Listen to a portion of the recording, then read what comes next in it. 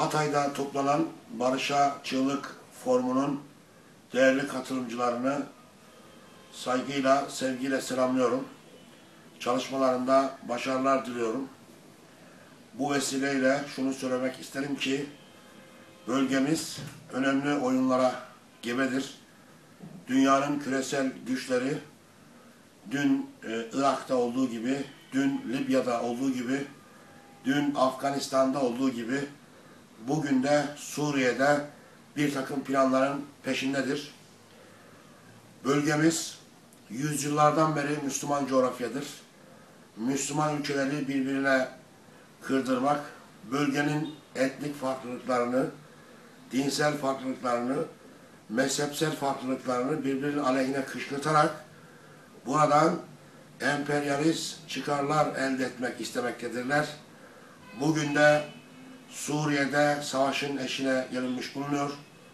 Daha geçen sene sınırda Ortak Bakanlar Kurulu toplantısı yapılmasından bahsedilirken, Suriye ile sınırların kaldırılmasından bahsedilirken, bugün Suriye'ye ateş etmek, silahla saldırmak ve işgal etmekten bahsediliyor.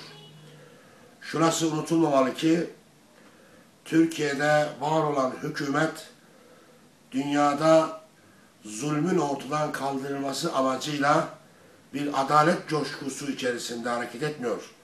Kendiliğinden bir adalet coşkusu olduğunu söylememiz mümkün değildir.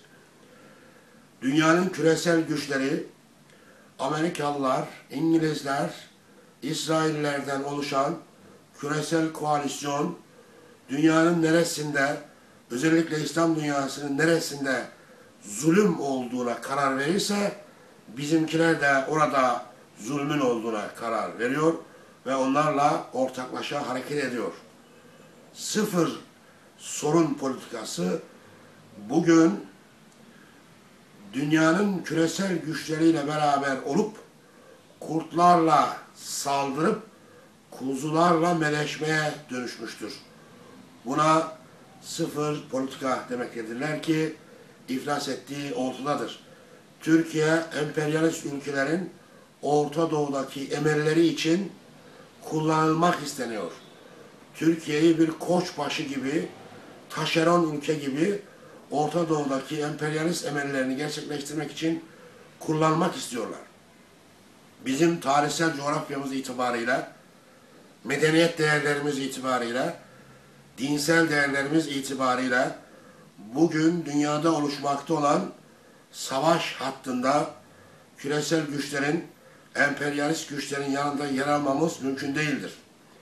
Eğer İkinci Dünya Savaşı gibi ülkeler, İkinci Dünya Savaşı'nda olduğu gibi ittifak devletleri ve itilaf devletleri diye saflaşırlarsa, itilaf devletlerini İngiltere, Amerika ve İsrail'in başını çektiği küresel emperyalist güçler, itilaf devletlerinin de Suriye, İran, Hizbullah ve Hamas hattının oluşturduğu Doğu ülkeleri oluşturacaktır. Türkiye'nin tarihsel coğrafyası, medeniyet değeri ve dinsel değerleri ve stratejik konum itibariyle tarafsız kalması mümkün olmadığından her ne kadar Suriye'deki, İran'daki rejimleri kendi iç bağlamında eleştiriyor olsak bile Doğu hattında yer almamız Suriye'nin ve İran'ın ve Hizbullah'ın ve Hamas'ın bulunduğu Doğu hattında Şark cephesinde destek vermemiz gerekir. Dünyanın koşulları bunu gerektirmektedir. Bizim bu noktada tarafsız kalmamız mümkün değildir. Çünkü olaylar hemen burnumuzun dibinde, sınırımızın ötesinde olmaktadır. Bugün biz barışı savunmalıyız. İslam dünyası ülkelerinden küresel güçler, emperyalist ülkeler ellerini, ayaklarını çekmelidirler.